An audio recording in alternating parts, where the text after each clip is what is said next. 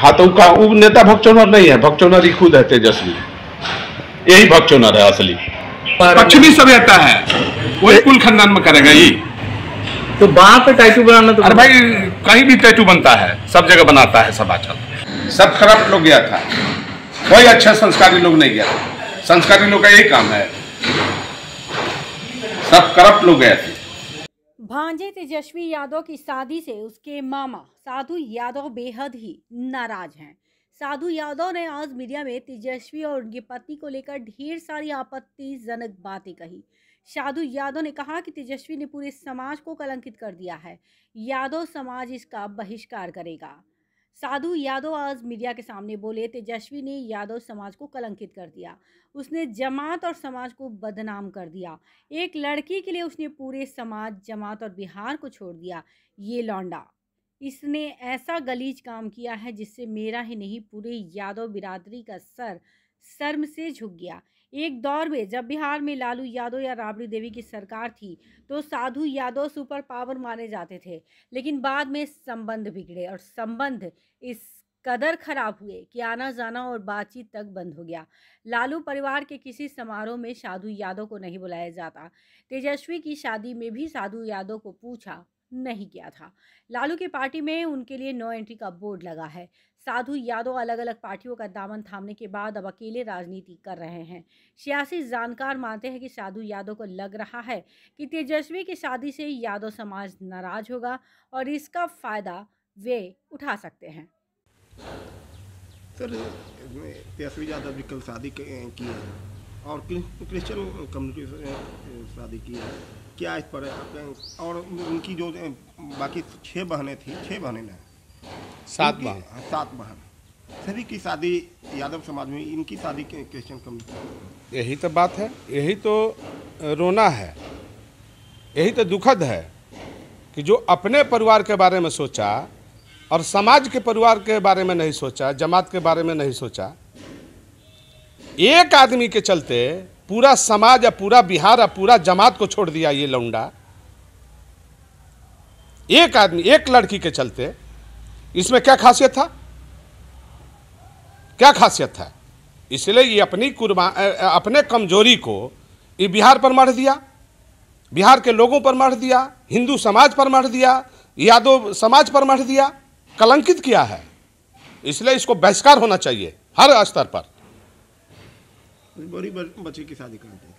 बड़ी बच्ची के जो शादी किए जादू समाज में किए यही बगल में खगौल में शादी किए। और उसका अब जब आप ज़िक्र कर दिए तो लालू जी का एक बात वाक्य हम मैं सुना देता हूँ। इसके मीसा के शादी के लिए हम राजस्थान अलवर गए थे। और करण सिंह यादव थे। और हुकुमदेव नारायण यादव के जब कपड़ा मंत्री थे तो उनका पीए था डॉक्टर सतपाल यादव और उससे हमारी बात हुई थी वो अलवर का एक लड़का होनहार विशाल यादव नाम था, जिसका काठमांडू में चार चार फैक्ट्रियाँ थी, जूस का। और उस लड़का को हम लोगों ने अखिलेश शर्मा अखिलेश शर्मा, अखिलेश सिंह जो राज्य मंत्री थे भारत सरकार में और वो और हम हैं, ली मेरेडियन में बैठ करके, बात करके, बुला करके लाया और फ़ोटो भी दिया गया, सब कुछ हो गया था। लालू जी ने पूछे कि ये लड़का का पिता कौन है? तो वो करण साहब थे मिलिट्री का कर्नल थे। और उनकी दो बेटी है, एक लड़का, जिसका एक अरुणाचल प्रदेश के चीफ सेक्रेटरी से शादी किए थे और हिमाचल के एक डीजीपी से शादी किए थे दो बेटियों का और एक लड़का था जिसका हम लोगों ने पसंद किया था। तो लालू प्रसाद ने हमको लेकर के जहाज़ में और दिल्ली गए रघुवंश सिंह थे और प्रेम गुप्ता थे। प्रेम गुप्ता ने हरियाणा के अलवर के बॉर्डर का होने के नाते प्रेम गुप्ता ने कह दिया कि लड़का का माँ ब्राह्मणी है। तो लालू जी ने पूछा था कि लड़का के माँ कौन है? हमने कहा कि शादी तो ब्राह्मण से किए हैं कर्ण साहब। तो बोले कि तो ब्राह्मण है लड़का के माँ, हमने कहा कि लड़का के माँ ब्राह्मण है। लड़का का पिता तो जादव है। तो लालू जी ने कहा कि नहीं, शादी नहीं होगा। तो जब लड़की के शादी के लिए ब्राह्मण माता के कारण जो है, इतना बड़ा परिवार, संपन्न परिवार, राजशाही परिवार को लालू जी ने छोड़ करके एक गरीब परिवार में खगौल में शादी किया। मीसा भारती का। तो उस समय जो है लालू जी क्यों ऐसा किए? और आज क्यों ऐसा किए? काहे किए? ये तुलना करिए आप लोग कि बेटियों की शादी जादे जादों में करेंगे और लड़का की शादी क्रिश्चियन में करेंगे। यही समाज गवाही देता है क्या? यही समाज में अगुआ बन रहे हैं क्या? इसलिए इसको पूरा बहिष्कार करना है। यादव समाज क्या लगता है कि जादव समाज बहिष्कार करेगा। किसी का बधवा मजदूर नहीं है जादव पूरा बहिष्कार करेगा। खुल कर बहिष्कार करेगा। अब इस खुल करके प्रतिकार किया जाएगा।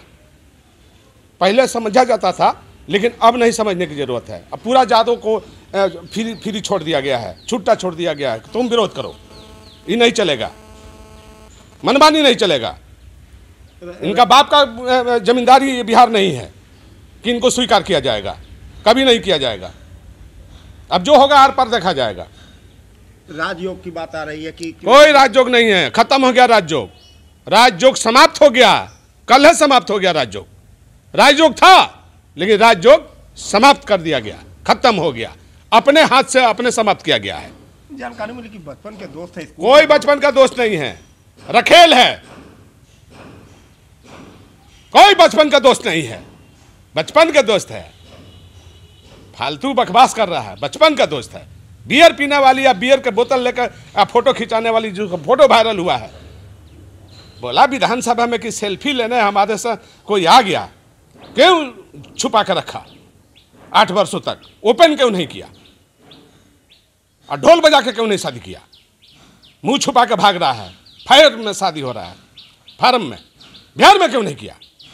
इसलिए ऐसे लोगों से सतर्क रहने की ज़रूरत है। बिहार के जदवंशी भाइयों और हिंदू भाइयों से अपील है कि इसको बहिष्कार करो जूता मारो। जगदानंद से तो कहते हैं कि धर्म प्रदर्शन नहीं जागतानंद भड़वा है।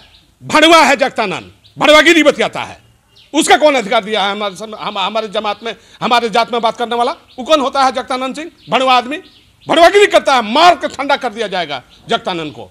पार्टी कार्यालय से बाहर किया जाएगा। उसका बाप का पार्टी है साले को। मेरा खून पसीना लगा है पार्टी में। मुझे दर्द है। हमने पार्टी को सींचा है। जगदानंद का बाप का पार्टी है क्या? अब बोलेंगे जगदानंद तो सब इलाज हम लोग कर देंगे। ताला मार देंगे हम लोग आरजेडी कार्यालय में। दिखा देंगे शक्ति हम क्या है? जगतानंद बहस कर रहे हैं, हम लोग चुप है तो इसका मतलब क्या है? जो जो गलत काम करेगा उसको बहिष्कार किया जाएगा। जगतानंद अगर है तो जाए अपना। कर ले क्रिश्चियन में शादी बेटा को क्यों किया राजपूत में शादी? जगतानंद? जगतानंद बहस करेगा उसको इलाज करेंगे हम लोग।